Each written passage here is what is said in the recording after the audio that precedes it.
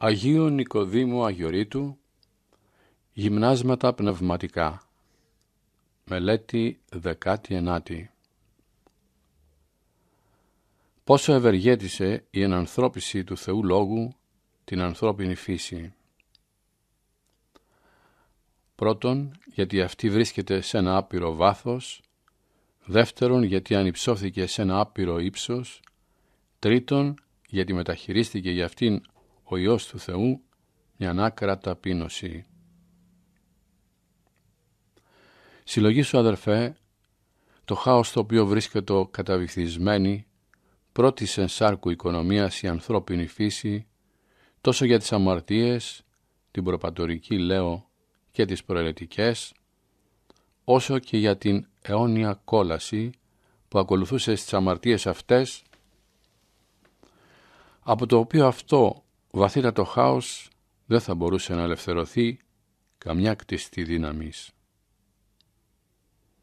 Επειδή, όπως πολλές φορές είπαμε, κάθε θανάσιμη αμαρτία περιέχει μια φοβερή ύβρη του κτίστου και μια απειρία κακίας.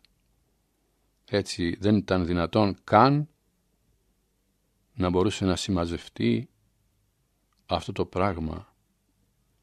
Όλα μαζί τα κτίσματα, δηλαδή να ανταμείψουν άξια αυτή την κακία και να ξεπληρώσουν τη Θεία Δικαιοσύνη για μια και μόνο τέτοια ύβρη.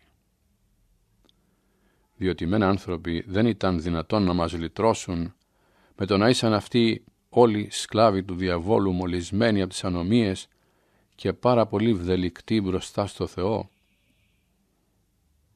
Πάντες γαρ ήμαρτον, λέγει ο Θείος Παύλος και υστερούνται τις δόξεις του Θεού, δικαιούμενοι δωρεάν τη αυτού χάρητη δια της απολυτρώσεως της εν Χριστώ Ιησού.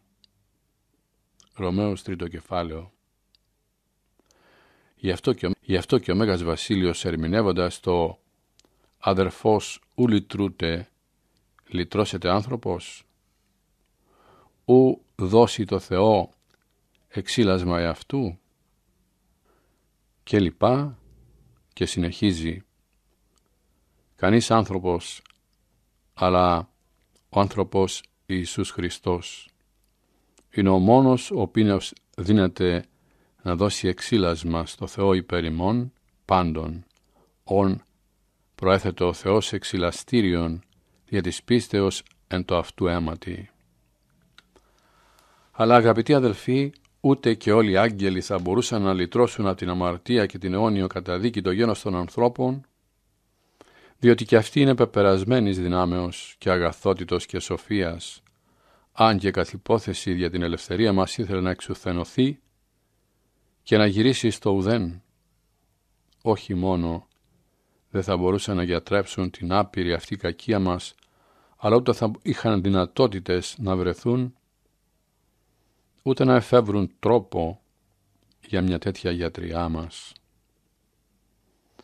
Ούτε ήταν δυνατόν σε όλη την αιωνιότητα που θα κρατούσε ως το εφ είναι και στη μακαριότητα. Όλη την αιωνιότητα λοιπόν δεν θα μπορούσε κανείς να σώσει τον άνθρωπο. Γι' αυτό και ο προφήτης Ισαΐας, ο Μέγας, πύρινος προφήτης, λέει ου πρέσβης, ουδέ άγγελος, αλλά Αυτός έσωσε αυτούς. Και ποιος είναι Αυτός; Ο Υιός του Θεού και ο Κύριος ημών, ο Ιησούς Χριστός. Όστις είχε και δύναμη άπειρη για να μας ελευθερώσει και σοφία άπειρη για να βρει τρόπο της ελευθερίας και δικαιοσύνη άπειρη για να μην κάνει τυραννική την ελευθερία μας, αλλά θεληματικός. Να θέλουμε δηλαδή να ελευθερωθούμε και να αποδεσμευτούμε από τους δαίμονες. Και μια αγαθότητα τέτοια άπειρη θεϊκή για να μεταδώσει σε όλους τους ανθρώπους και σε όλους τους αιώνες τον πλούτο της Θείας Χάριτος και της δόξης και να γίνει αυτός η πηγή του αγιασμού και της χάριτος σε όλη την ανθρώπινη φύση, όχι μόνο επειδή ήταν Θεός, αλλά και επειδή ήταν τέλειος άνθρωπος ως θεολογούν ο Άγιος Μάξιμος, όσο και ο Μέγας της Θεσσαλονίκης Φωστήρας, ο Γρηγόριος. Τώρα λοιπόν, στο χάσου εσύ αγαπητέ μου, αν ίσως και ήταν δυνατόν να είναι βαθύτερο από το χάος σε αυτό που ήσουν πεσμένος και βρισκόσουν σε μεγαλύτερη απελπισία για τη σωτηρία σου ως σκλάβος και δαίμονας, ως εχθρός του Θεού, ως καταδικασμένος στην αιώνια κόλαση. Ως σύντροφος του Εωσφόρου στην πονηρία και ως περιεχόμενος μαζί με Αυτόν στην ίδια απόφαση της απολίας. Και από αυτό το συλλογισμό ταπεινό σου και ευχαρίστησε μόλις σου την καρδιά τον Κύριο ημών Ιησού Χριστό που σε λύτρωσε από εκείνο το άπειρο βάθος από το οποίο δεν ήταν δυνατό να σε λυτρώσει άλλος ποτέ, ποτέ. Αυτό λέει και ο Παύλος, το δε ανέβη τι εστίν ημί το ότι κατέβει πρώτον εις τα κατώτερα μέρη της γης. Να ντραπείς λοιπόν που λησμόνησες ως τώρα και δεν θυμήθηκες μια τόσο μεγάλη χάρη που σου έκανε ο Κύριος. Και σε ανταμοιβή και ευχαριστία αυτής της μεγάλης χάριτος διάλεξε το καλύτερο πράγμα από όσα αγαπάς και αφιέρωσέ το σαν θυσία σε αυτόν τον Κύριο που έβαλε σε κόπο όχι έναν άγγελο, όχι έναν άνθρωπο, αλλά τον ίδιο τον εαυτό του για να σε βγάλει από το βάθος όλων αυτών των κακών. Ο παντοδύναμός σου λόγος από ουρανών εκθρόνων βασιλειών εις μέσον της ολεθρίας ήλατο υγής, λέει η Σοφία Σολομόντος. Ομολόγησε επίσης ότι το να είσαι από τώρα εσύ εχθρός μεγάλος του Θεού και το να μην είναι η μερίδα σου μια αιώνια ταλαιπωρία και μια αιώνια κόλαση, όλο αυτό είναι χάρισμα του Ιού του Θεού. Και επειδή καθώς αυτό σε υποχρέωσε τόσο πολύ με αυτή την άπειρη ευεργεσία του που σου έκανε, παρακάλεσε τον να σου δώσει τώρα φως για να τη γνωρίσεις καθώς πρέπει αυτή την ευεργεσία και να την ενθυμάσαι σ' όλη σου την υπόλοιπη ζωή, ευχαριστώντας και λέγοντας μαζί με το Θείο Παύλο ευχαριστούνται στο Θεό και Πατρί, το ικανός αντιημάσι στη μερίδα του κλήρου των Αγίων εν το φωτί, ως ερίσα το ημάς εκ της εξουσίας του σκότους και μετέστησεν εις την βασιλεία του Ιού της αγάπης αυτού. Κολασσαής πρώτο κεφάλαιο. Συλλογή σου αγαπητέ αδερφέ, το ύψος του βαθμού στο οποίο ανυψώθηκες διαμέσου της Θείας Ενανθρωπίσεως, που καθώς είπε και ο Παύλος, αναβάσεις ύψος ηχμαλώτησας εχμαλωσίαν, διότι θα μπορούσε ο Θεός με μία μόνο απλή εξωτερική συγχώρηση να σε ελευθερώσει από όλα τα κακά της αιωνίου κολάσεως, καθώς κάνει και ένας βασιλιάς που χαρίζει τη ζωή σε ένα φτέχτη που είναι καταδικασμένος να πεθάνει και του δίνει χάρη, το οποίο είναι μια ευεργεσία κατανόητη. Αλλά ο Θεός δεν ευχαριστήθηκε μόνο να σε βγάλει από την άβυση όλων των κακών, από αυτή την άβυσο, αλλά σε υπερήψωσε και σε μία στάση θεϊκή διαμέσου της αγιαστικής χάριτος και σε έκανε ιό, θετό και κληρονόμο αιωνίων αγαθών, όλων των αιωνίων αγαθών. Αυτό το πνεύμα συμμαρτυρεί το πνεύμα τη ημών, ότι εσμέν τέκνα Θεού, είδε τέκνα και κληρονόμη. Κληρονόμη μεν Θεού, συγκληρονόμη δε Χριστού. Ρωμαίους ήτα κεφάλαιο. τώρα πες μου. Ποιος μπορεί να μετρήσει το άπειρο διάστημα που είναι ανάμεσα σε εκείνο το χάος που ήσουνα και σε τούτο το ύψος όπου τώρα είσαι, δηλαδή ανάμεσα στη στάση ενός αμαρτωλού καταδικασμένου στον Άδη και στη στάση ενός δικαίου διορισμένου στη δόξα του Παραδείσου, τα Σεραφείμ εκπλήσονται.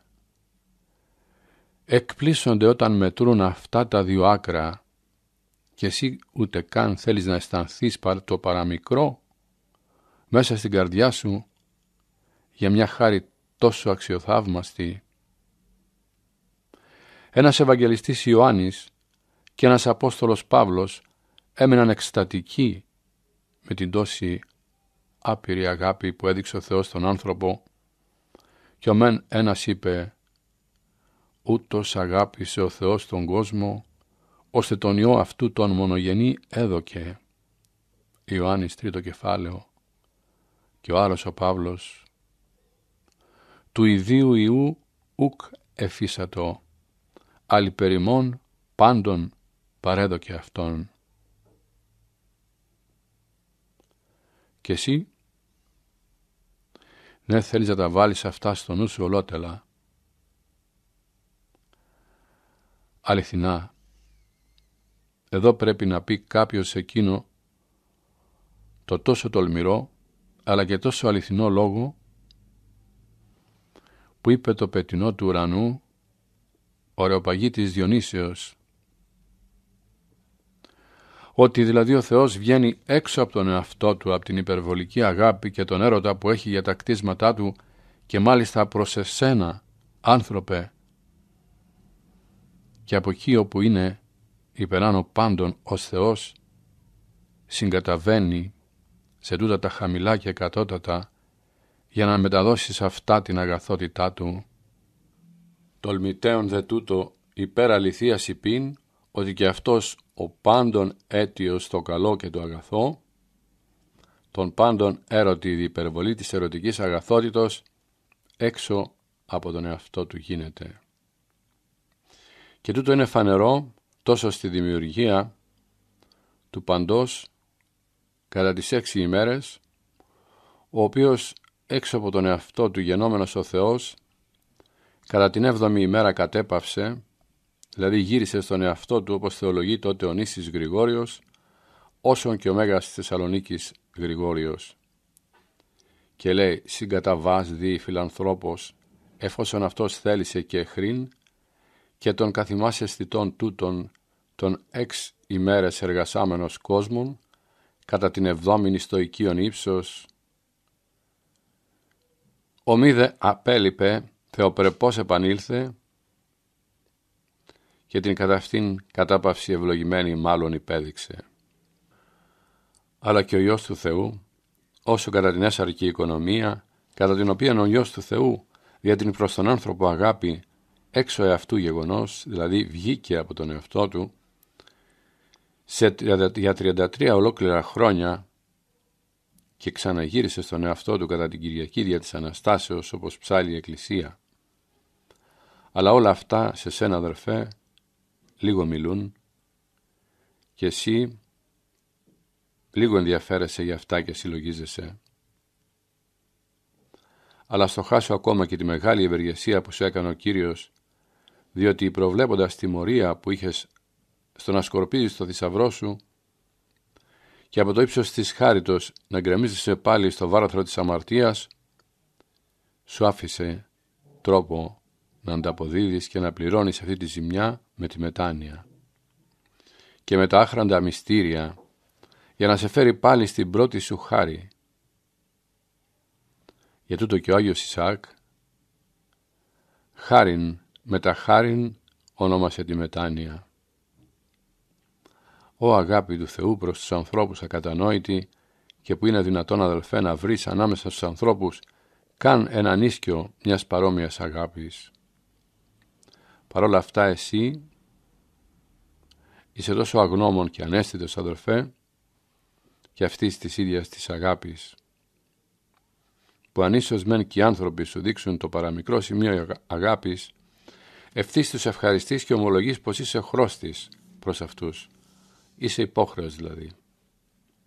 Αν ίσως και λησμονήσεις το Θεό,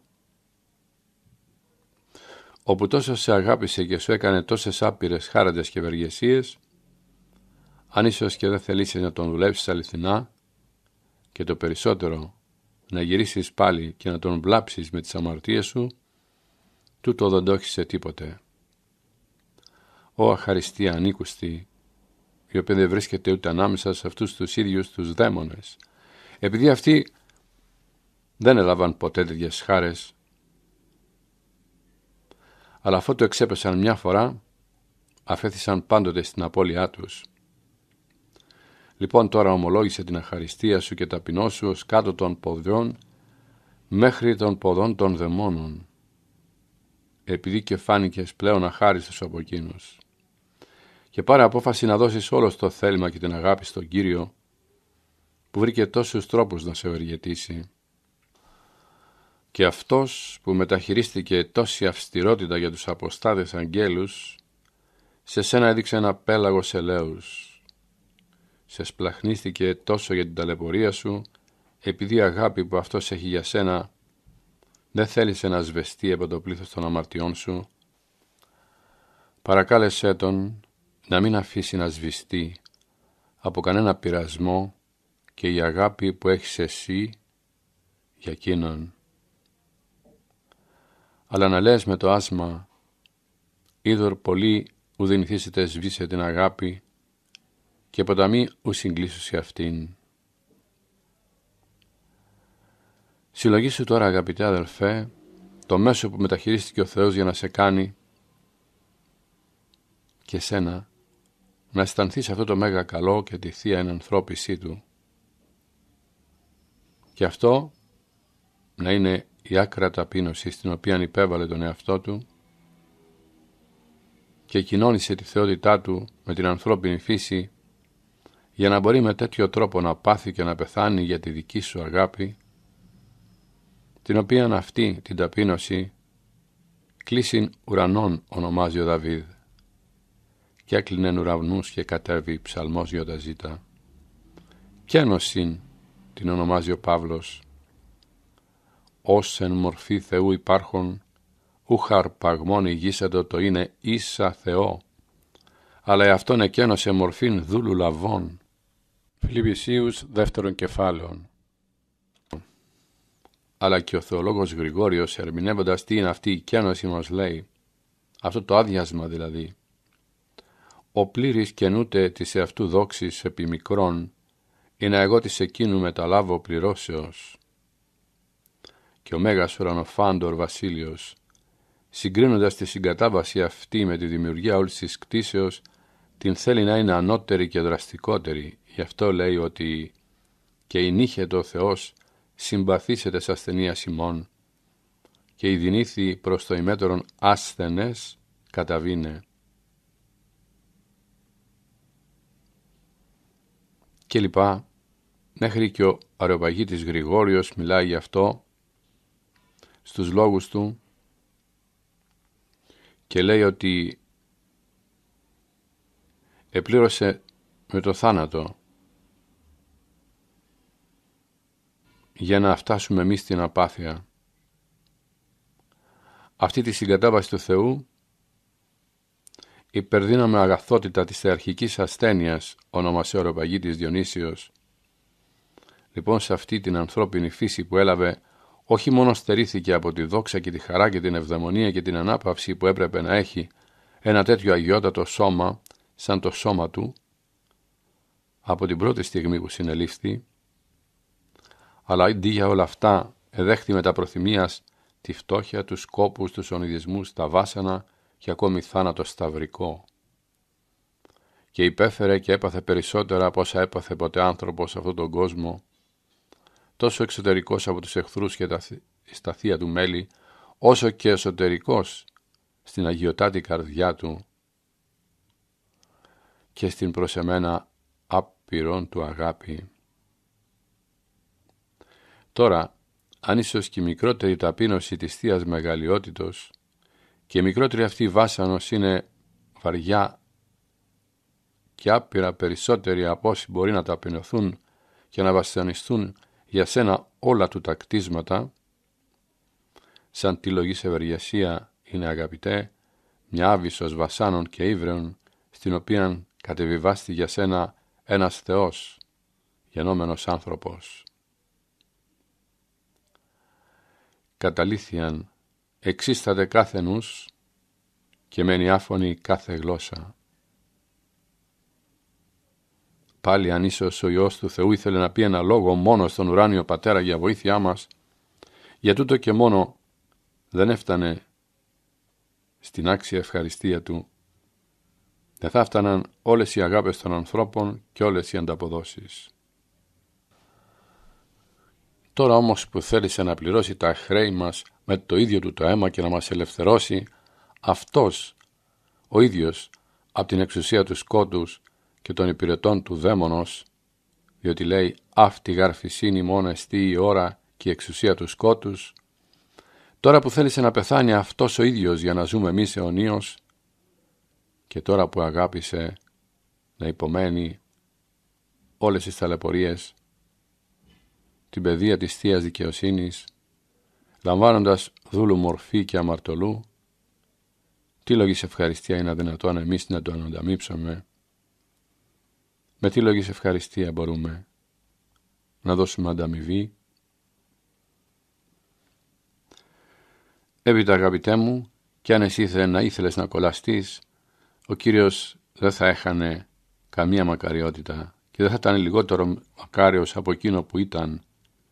Παρόλα αυτά όμως, φαίνεται πως θέλει να είναι μακάριος μαζί με τη δική σου μακαριότητα να κάνει και σένα κοινωνό της δικής του μακαριότητος.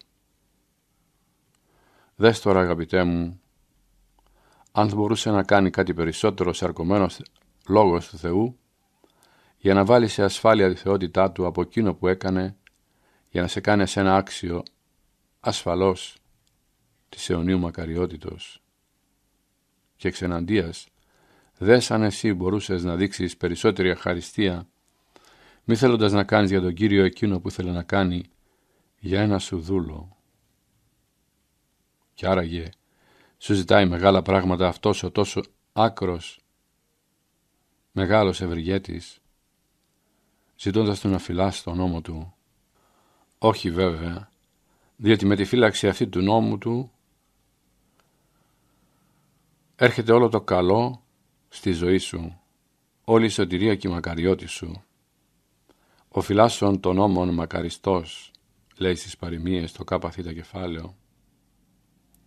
Ω, και τι έχουν να πούν οι άγγελοι για αυτή την τερατώδια χαριστία σου; Και τι θα πούν οι άνθρωποι αν ίσως την γνώριζαν πληρέστερα; Και τι υπερηφάνεια έχει να δείξει ο διάβολος κατά εκείνη την ημέρα για αυτή την αχαριστία σου, αυτή την καταφρόνηση διότι αυτός χωρίς να σε πλάσει, χωρίς να σε ευεργετήσει και χωρίς να πεθάνει για λόγο σου, μπόρεσε όμως να κάνει να τον ακολουθείς με την απίθεια και την αμέλεια που έδειξε στις εντολές του Θεού, του Κυρίου σου.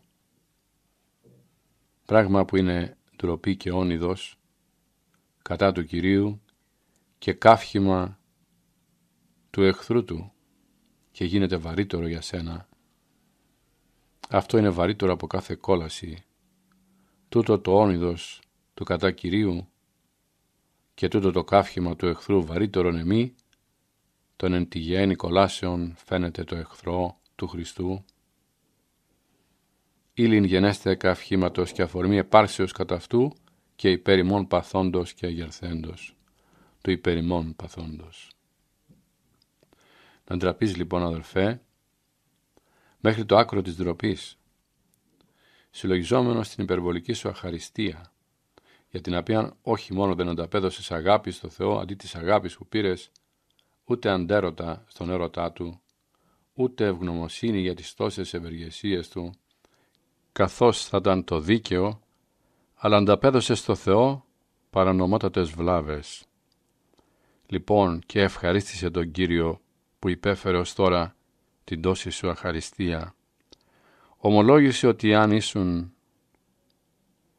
εάν ήσαν δικές σου οι ψυχές όλων των κτισμάτων και αν δεν ήθελες να τις θυσιάσεις όλες την υποταγή και την αγάπη του λουτρωτή σου, πάλι δεν θα μπορούσες να πληρώσεις ούτε το παραμικρό από το χρέος σου.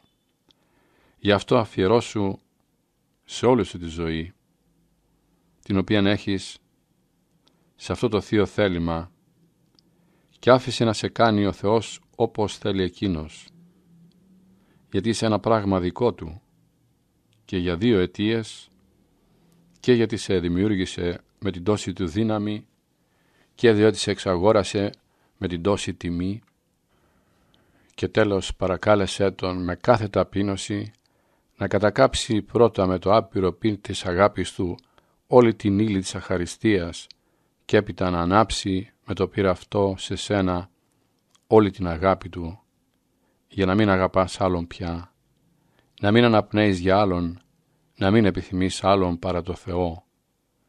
Και για την αγάπη με την οποία ο Θεός είναι uniωμένος με σένα και εσύ με το Θεό όπως λέει και μια αποστροφή του άσματος «Αδελφιδός μου, εμεί καγώ αυτό» και με τέτοιο τρόπο να σε μεταβάλει όλο σε μια νέα κατάσταση ώστε από εδώ και μπρος όχι μόνο να μην βλάψεις πλέον με αμαρτίες το δημιουργό σου αλλά να δουλεύεις μόλις σου την καρδιά λέγοντας με τον Δαβίδ «Ω Κύριε, εγώ δούλος σου, εγώ δούλος σως και Υιός της παιδίσκης σου». Ψαλμός Ρογιώτα Εψιλόν.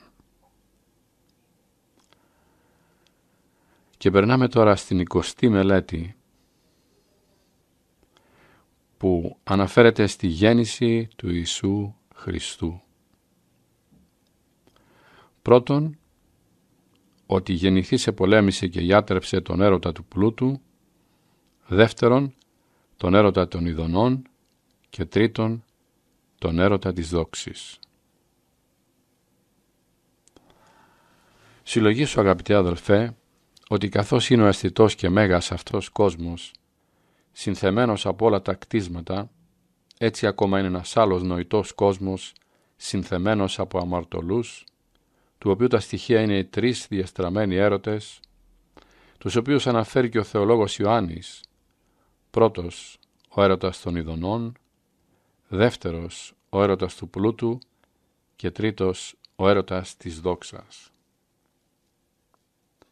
Πάντο εν το καμίνο η επιθυμία της αρκός και η επιθυμία των οφθαλμών και η ελαζονία του βίου.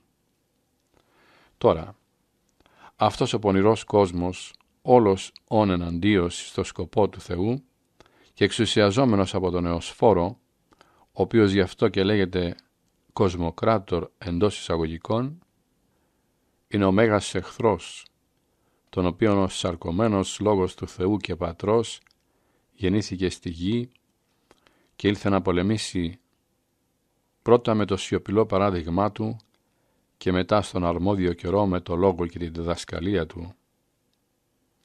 Λοιπόν συλλογήσου πως πρώτα πολεμεί με τη φτώχεια τον άτακτο έρωτα του πλούτου. Ο κοσμικός άνθρωπος σκέπτεται πως όλα τα καλά βρίσκονται στα πρόσκαιρα αγαθά του κόσμου και για να τα αποκτήσει όλα αυτά και να μην τα χάσει ξοδεύει σχεδόν όλο τον καιρό που του έδωσε ο Θεός για να κερδίσει τα αιώνια αγαθά. Και ιδού ο προαιώνιος λόγος και Υιός του Θεού και Πατρός κατεβαίνει από τον ουρανό για να μας λυτρώσει από αυτή την πλάνη και να ξεριζώσει από τις καρδιές μας αυτή την καταραμένη ρίζα πάντων των κακών, τη φιλαργυρία, καθώς την ονομάζει ο Θείος Παύλος ρίζα πάντων των κακών εστί η φιλαργυρία. Δες όμως σε τι λογή στα λεπορία κατάντησε για την αγάπη μας εκείνος που διαμοιράζει τα πλούτη και τους θησαυρούς της παρούσης ζωής και της μέλουσας.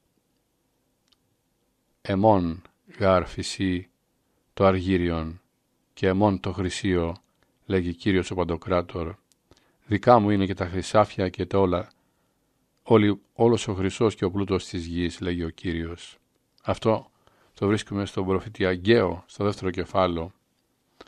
Τώρα στο χάσου, πού είναι το παλάτι που γεννήθηκε, πού είναι το στρώμα το βασιλικό, πού είναι τα βρεφικά περιραντήρια, πού η δορυφορία των δούλων, πού η φωτιά, πού η ανάπαυση, πού η συνδρομή των συγγενών και των φίλων;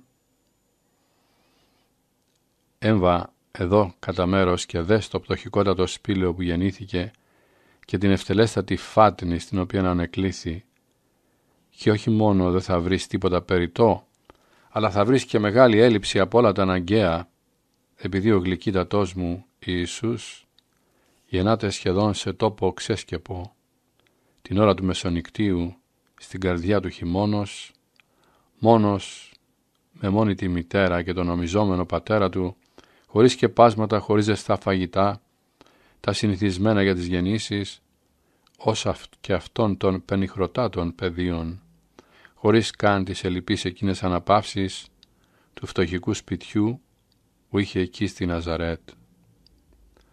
Και το περισσότερο ότι χωριστά από αυτή τη φτώχεια, αυτή που διάλεξε ο Ιησούς θεληματικά, ακόμα διορίζει να μην δοθεί σε αυτόν εκεί στο σπήλαιο καμιά υποδοχή και φιλοξενία από κανένα άνθρωπο για να διαφέρει από τους συμπατριώτες που ανέβηκαν στη Βηθλεέμ για να απογραφούν, οι οποίοι ήταν καλά προμηθευμένοι, αναπαυμένοι, φιλοξενημένοι μέσα στα σπίτια, καθώς του το δηλείο και ο Ευαγγελιστής Λουκάς λέγον «Ουκ είναι αυτής τόπος εν το καταλήμματι». Δεν υπήρχε τόπος στο ξενοδοχείο εκεί. Και επειδή ο κόσμος όχι μόνο οβδαλίσεται τη φτώχεια, τη συχαίνεται, αλλά τη νομίζει και για μεγάλη ντροπή, αλλά και διδάσκει τους ανθρώπους, αν και είναι φτωχοί, να υποκρίνονται στο φαινόμενο πως είναι πλούσιοι. Για τούτο, ο Ιησούς Χριστός δεν τρέπεται για τη φτώχεια Του, αλλά μάλιστα και κάνει επίδειξη της φτώχειας Του και από μεν τους ουρανούς κράζει τους αγγέλους, από δε τους αγρούς καλεί τους ποιμένες για να τον προσκυνήσουν σε εκείνη την κατάσταση την κόσο απαραμύθευτη, απροθύμευτη και φτωχική. Σε εκείνο το θρόνο μιας ευτελέστατης φάτνης, σε εκείνη την αυλή ενός πενιχρότατου σπηλαίου, «Ω φτώχεια υπέρπλουτη, ω συγκατάβαση υπερήψωτη, του ύψίστου. Τώρα εσύ που μελετάς αυτές τις αλήθειες, τι λες; Ποιος από αυτούς τους δύο μεγάλους εχθρούς νομίζεις πως έχει δίκιο να σε νικά και να σε κυριεύει, ο κόσμος ή ο Χριστός που νίκησε τον κόσμο; Ο κόσμος σε παρακινεί να ζητάς; Πρώτα πρώτα τα επίγεια αγαθά και να υπολογίζεις Α, ότι αυτό είναι το μεγαλύτερο καλό. Ο Χριστός όμως σε συμβουλεύει με το παράδειγμά του και με τη διδασκαλία του να ζητάς πρώτα τη Βασιλεία του Θεού και να καταφρονείς όλα τα καλά της γης σαν ένα πυλό. Ζητείτε πρώτον την Βασιλεία του Θεού και την δικαιοσύνη αυτού. Ακόμη σε συμβουλεύει να υστερήσει και από αυτά τα γήινα καλά ή κατά μέρος, δίνοντάς τα ελεημοσύνη στους φτωχούς ή καθόλου από τα σώμενα στα πάντα για της καλογερικής ζωής και εξαγοράζοντας ένα θησαυρό στον παράδεισο. Γιατί λέει «Πώλησον τα υπάρχοντα και δώσ' πτωχής και έξι θησαυρών εν ουρανό και δεύρο ακολούθημη». Και πάλι λέει «Πας εξημών ως ουκ υποτάσσεται πάση της εαυτού υπάρχουσιν ουδυνατε είναι μαθητής». Λουκάς Δέλτα κεφάλαιο. Λοιπόν εσύ αγαπητέ αδελφέ και σαν μαθητής του Χριστού και σαν φρόνιμος και στοχαστικός πρέπει να αποφασίσεις να ακούσεις εκείνο που σου λέει ο Χριστός παρά εκείνο που σου λέει ο κόσμος και όχι μόνο να το ακούσεις αλλά και να το κάνεις με το έργο επειδή όχι οι ακροατέ του νόμου είναι δίκαιοι παρά το Θεό αλλά οι ποιητέ του νόμου δικαιωθήσονται δεύτερο κεφάλαιο προς Ρωμαίους επιστολή. Είναι αληθινό ότι δεν είσαι χρεώστης, καθώς είσαι λαϊκός χριστιανός, να είσαι ακτήμων και πάμπτωχος. Αλλά όμως είσαι χρεώστης να ψηφάς τόσο λίγο τα πλούτη και τα χρήματα, ώστε γι' αυτά όλα ομού να μην παρακινηθείς ποτέ να παραβείς καμιά εντολή του Θεού και τόσο είναι ξεκολλημένη από αυτά η καρδιά σου, από τα γήινα πλούτη, ώστε να έχεις με τόση απροσπάθεια τα πράγματα σαν να μην τα έχεις και να τα μεταχειρίζεσαι, δηλαδή να τα ξοδεύεις στα μάτια και τα περιτά και παραπάνω από τη χρία σου, όπως λέγει ο Παύλος, ο καιρός είναι σταλμένος εστί να όσοι η χρώμενη το κόσμο τούτο ως μη καταχρώμενη. Παράγει γάρ το σχήμα του κόσμου τούτου. 1 Κορινθίου ζήτα κεφάλαιο. Πλην, πάνω σε αυτή την υπόθεση, συμβουλεύσου με το Πανάγιο βρέφος του Ιησού και να ντραπείς μπροστά του, πως τώρα είχες τέτοια αντίληψη και τόση αγάπη για τα πλούτη, που το βρέφος αυτό τόσο τα καταφρονεί και εξεναντίας, πως έχεις τόσο μίσος και καταφρόνηση με γίνει τη φτώχεια και την ευτέλεια, εναντίον δηλαδή του φτωχού και του ευτελή, αυτό τόσο αγαπά, όπου θα πρέπει να ζητήσουμε συγχώρεση για όλα τα κακά που κάναμε ή για την απόκτηση του πλούτου ή τα για τα γήινα αγαθά ή για να μεταχειριστείς αυτά. Και παρακάλεσε το Θεό να σου δώσει χάρη καθώς αυτός ο πλούσιος όν έγινε φτωχός για την αγάπη σου έτσι και εσύ να γίνεις φτωχός για την αγάπη του για να πλουτίσεις από τη δική του θεότητα.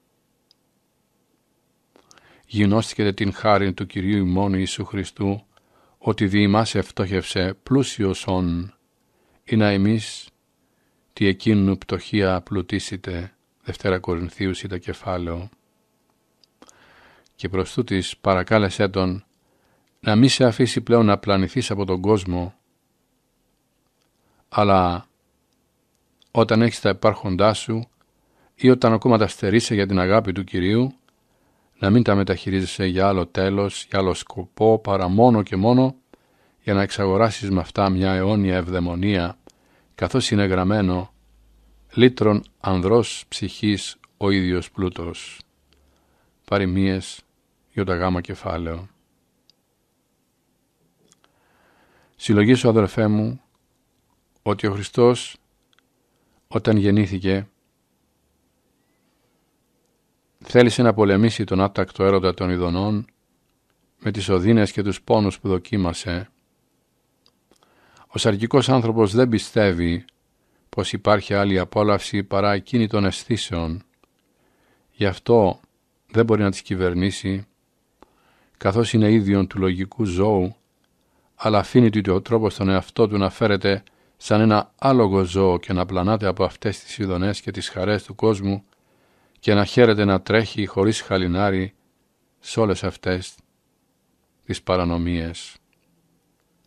Ζητάει την ειδονή ως τέλος, ως σκοπό του και το νομίζει έντιμο. Αν καλά και την βρίσκει σε μεγαλύτερες απολαύσεις, ακόμα και με ατιμίες και με ακαθαρσίες. Ο Υιός του Θεού βλέποντας και συμπαθώντας αυτή την τυφλότητα, ήρθε για να νικήσει και να γιατρεύσει τούτο το μεγάλο σφάλμα.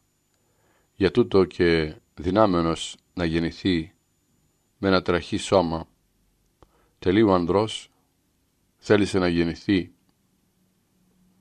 με έναν τρόπο άλλο, σε σώμα βρέφους απαλό, για να αισθανθεί την οδύνη και ακολούθως για να πάθει περισσότερο κι ύστερα από τη βασανιστική φυλακή που υπέμενε εννέα μήνες μέσα στην κοιλιά της Παρθένου θέλησε να υποφέρει όλα τα βάσανα και τις οδύνες της νηπιότητος σαν να μην είχε τη χρήση του λογικού. Έπρεπε σε αυτόν εξ αρχής να λάβει ένα σώμα όχι μόνο τελειότερο από το σώμα του Αδάμ αλλά ένα σώμα απαθές και ανώδυνο, μακάριο και άξιο κατοικητήριο μιας παρόμοιας μακάριας ψυχής. Και μόνο τούτο, αντί εκείνου παίρνει ένα σώμα πολύ απαλό, πολύ λεπτό και τρυφερότατο, αισθητό κάθε βασάνου και καμωμένο επί τούτου, για να μπορεί να δέχεται με όλες τις αισθήσεις όλους τους πόνους, καθώς και το πέλαγο δέχεται όλους τους ποταμούς. Λοιπόν, ευθύς μόλις γεννήθηκε, με την αφή δέχτηκε την προσβολή της ψυχρότητας του αέρος και του νοτισμένου σπηλαίου, με τη φωνή να κλαθμυρίζει, με την αίσθηση να αισθάνεται τη βρώμα της φάτνης και των αλόγων ζώων, με την όραση να βλέπει ένα σκοτεινό, ακαλές και άχαρο σπήλαιο και με την ακοή άλλο δεν ακούει παρατραχές φωνές αγρίων θηρίων και ούτως υπήν ευθύς που γεννήθηκε ο Ιησούς αφιερώθη αφιερώνει μάλλον τις απαρχές της ζωής του σε μια άκρα στεναχώρια και ένδια όλων των αναπαύσεων και κάθε λογής οδύνη και βάσανο που είναι δεκτική εκείνη η ηλικία του.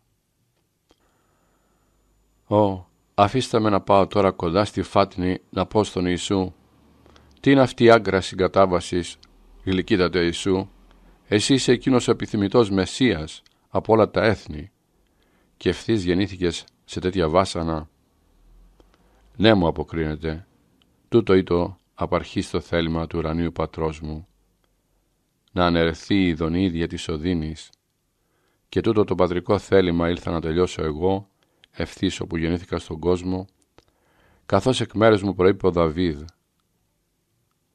Και με το Δαβίδ ο Απόστολος. Διότι ερχόμενος στον κόσμο λέγει θυσίαν και προσφοράν ούκ θέλησας, σώμα δε, κατηρτήσω. Τότε είπον, Ιδού, οίκο, του ποιήσε ο Θεός το θέλημά σου. Εδώ και τώρα, εσύ αγαπητέ, να γίνεις κριτής αναμεταξύ του Χριστού και του κόσμου και να αποφασίσεις τι πρέπει να σε εξουσιάζει, ο Χριστός ή ο κόσμος. Ποιον πρέπει να ακολουθήσει, εκείνον που θέλει τη σωτηρία σου με την οδύνη ή εκείνον που ζητάει την απώλειά σου με την ειδονή; Φανερό είναι ότι θέλεις το πρώτο. Χριστός γράφει συν έπαθε υπερ ημών, ημίν υπολυμπάνων υπογραμμών ή να ακολουθήσετε τη σύχνεση αυτού. Πρώτη Πέτρου επιστολή.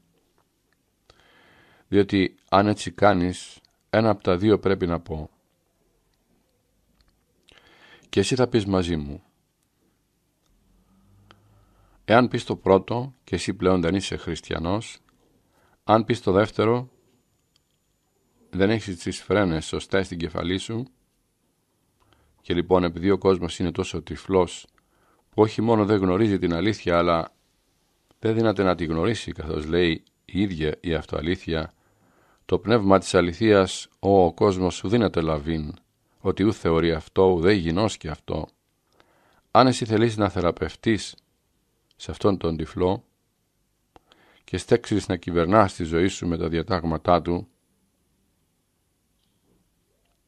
περνάς τη ζωή σου με τα διατάγματά του, που φυσικά είναι ψευδή, και τότε τι ταλέπορος που είσαι, διότι παρέδωσες μοναχός σου στα χέρια του, στα χέρια του εχθρού σου, καθώς ο Σαμψόν στα χέρια των αλλοφύλων ο Σαμψόν. Και διότι έγινες φανερός αποστάτης του Κυρίου, του άκρου ευεργέτη σου, θέλοντας να θεραπεύσεις τις αισθήσεις με τις ειδονές και προτιμώντας μια ζωή τριφυλή, μαλακή και ειδονική, την οποία τόσο μίσησε ο Ιησούς εξ αυτής της γεννήσεώς του. Μολώνονται και αυτοί νομίζετε κοντά στους άφρονες ότι είναι άπτεστη και αθώα.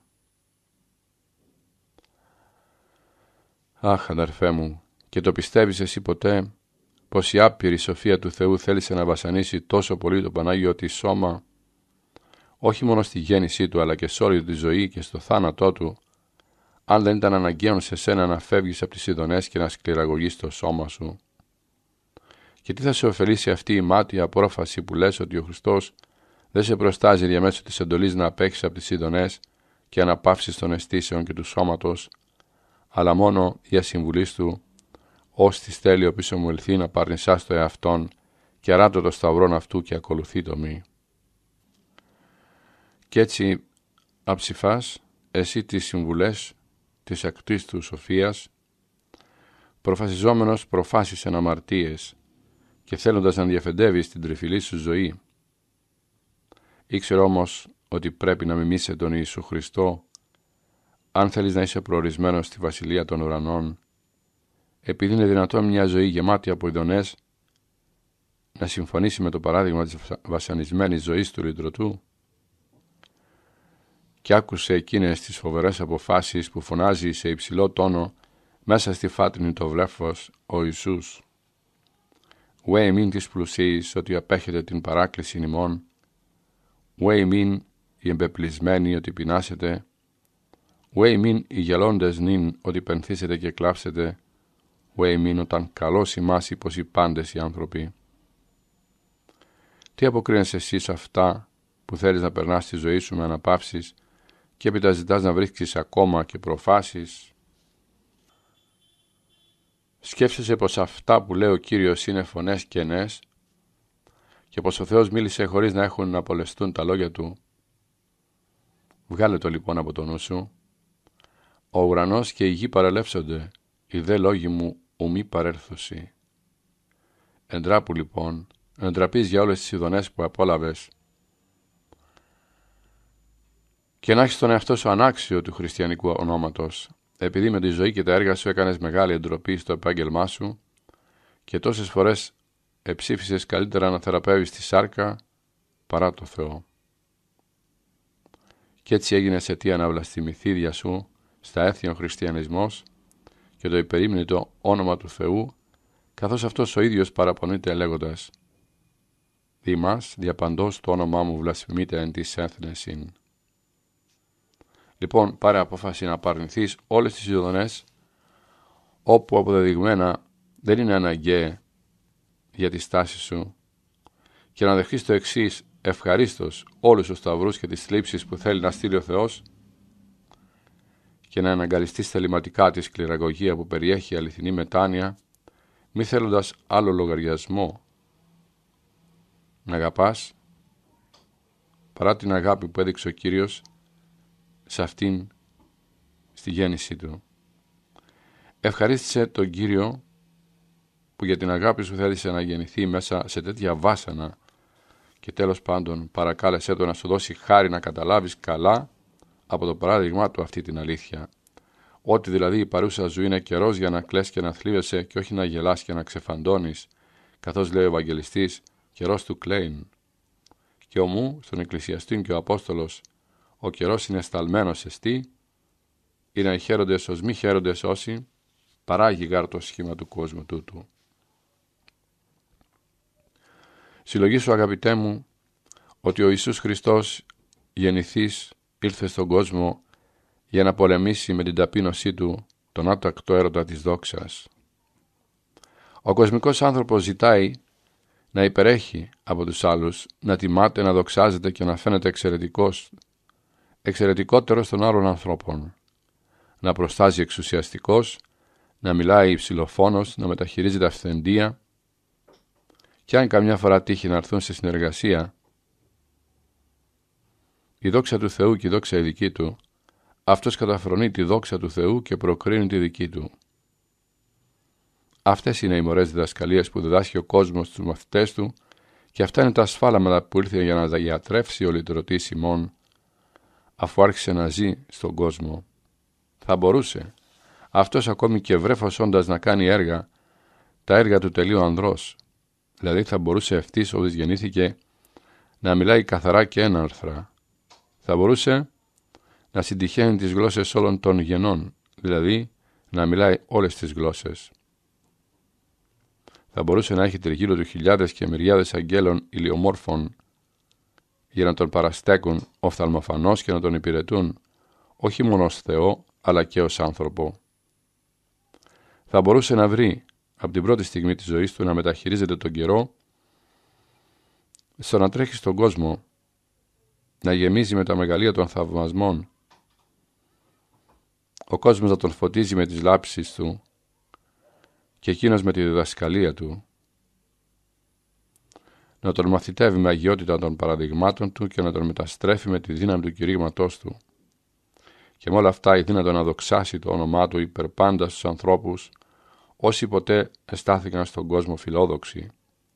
Και οι βασιλείς του κόσμου και οι μεγιστάνες και άρχοντες και πάντες οι λαοί να κινούν από τα πέρατα της οικουμένης και να έρχονται στην Ιερουσαλήμ για να ακούσουν την ουράνια σοφία που διδάσκει ένα βρέφος, καθώς και η βασίλισσα του Νότου εκκίνησε μέσα από την Εβδαίμονα Αραβία και ήρθε να ακούσει τη σοφία του δωδεκαετούς παιδούς Σολομόντος και να δουν έναν ήπιο να φωτίζει τυφλούς, να καθαρίζει λεπρούς, να ανορθώνει χολούς, να ανασταίνει νεκρούς, να γιατρεύει αρρώστους και να κάνει φρικτά και παράδοξα θαύματα και όλοι να το επενούν, όλοι να το δοξάζουν, όλοι να το εφημούν. Αλλά δεν ήθελε μια τέτοια αμάρτια και ανθρώπινη δόξα ο Ιησούς, αλλά εν σχήματι ευρεθείς ως άνθρωπος εταπείνωσε Αυτόν. Όχι, δεν ήθελε τέτοια ανθρώπινη δόξα ο Ιησούς. Και καθώς λέει ο Θείος Παύλος Φιλιππισίους και κρύπτεται με τον ερχομόν του εις τον τόπον από τους πλέον αγνωρίστους της Ιουδαίας και εις ένα κατοικητήριο των αλόγων ζώων σκεπάζεται όλους τους θησαυρούς της σοφίας του με ένα κομμάτι κρέας και από κάτω εις την μορία του αγνώστου και αφώνου νηπίου ενώ εσύ πάντες η θησαυρή της σοφίας και της γνώσεως απόκρυφη. Και ο Ισαΐας περί της νηπιώδους αγνωσίας του παιδιού αυτό λέει διότι πριν ηγνώνε το παιδίον καλή πατέρα και μητέρα και σκερόν που η βασιλής της γης ο Αύγουστος Κέσαρ κυβερνεί τα βασίλειά του με απογραφές και δίνει νόμους στους λαούς και φαίνεται ένδοξος πανταχού αυτός είναι όπου είναι βασιλεύς των βασιλευόντων και γεννάται και ζει παντελώς αγνώριστος και λογαριάζεται σαν ένα μηδέν. Ό,τι σαν υπερβλήτους σου ταπεινώσεως, γλυκή, όνομα Ιησού. Αυτή η ταπείνωση που έκανε τον προφήτη Αβακούμ να βγει σχεδόν από τις φρένες του, από τα λογικά του και να λέει «Κύριε, κατενόησα τα έργα σου και εξέστην, εν μέσω δύο ζώων γνωστήσει»